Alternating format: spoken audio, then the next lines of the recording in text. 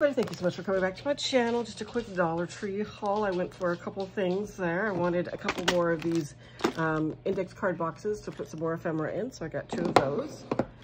I love these containers. They're stackable and they're great for putting in craft supplies. These hair charms are not for hair, but for jewelry making, so I got that.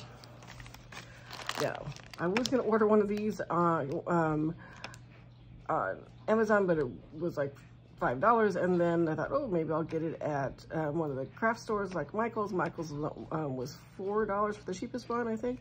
But I went to Dollar Tree first. I found it there for a buck 25. And I just want to try it and see if it works. So this is awesome.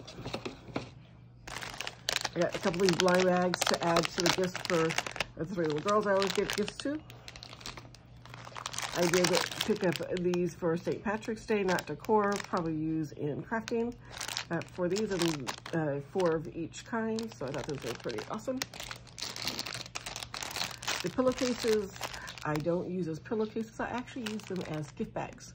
And the, the people could either, that get them could either use them as gift bags um, or pillowcases or whichever. So and for a buck 25, it's the same as a bag. So why not? And the last thing I got was I got, well, last two things. I got these two things. And this is mostly just one I send out um, Happy Meal or something I wanted something to put it in. Oh, I didn't even notice this on the back. So this is everything I purchased at the Dollar Tree today. Definitely thank you for checking it out. I'll see you in my next one.